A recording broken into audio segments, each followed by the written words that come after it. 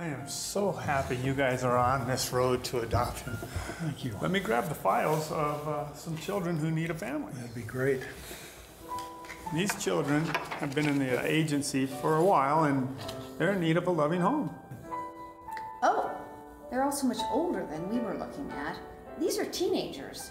I think we were considering a younger child, perhaps a one or two year old.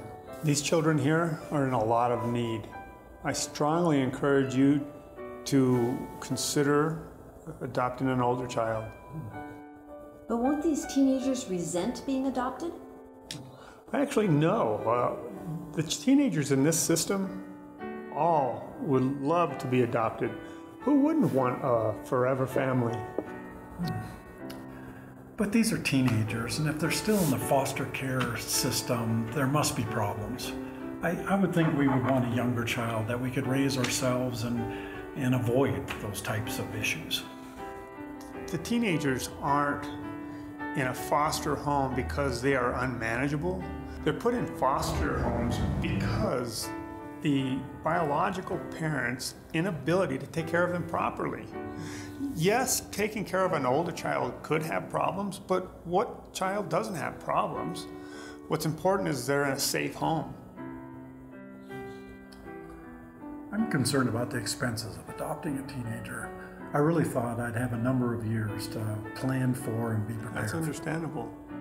Fortunately, the government uh, supports foster care system and adoptions very well. Most states have programs in place to help with uh, health care and education and even like driver's ed. They are practically adults. They can just take care of themselves. They'll be heading out on their own before we even know it. Well, whether they can take care of themselves or not, they need family. And I think we all need a support group that we can rely on. But what if they don't like us? What if they have it in their heads that they hate us and all we do is fight all the time? What teenager likes its parents? You know, we can uh, do a lot more with teenagers. Uh, consider it uh, bonding time.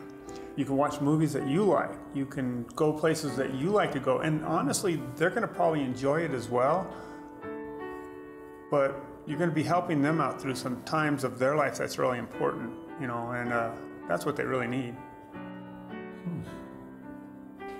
I see. You have given us a lot to consider here, and we really appreciate your time and the information. I think we just need to go home and think about all. That's a good idea.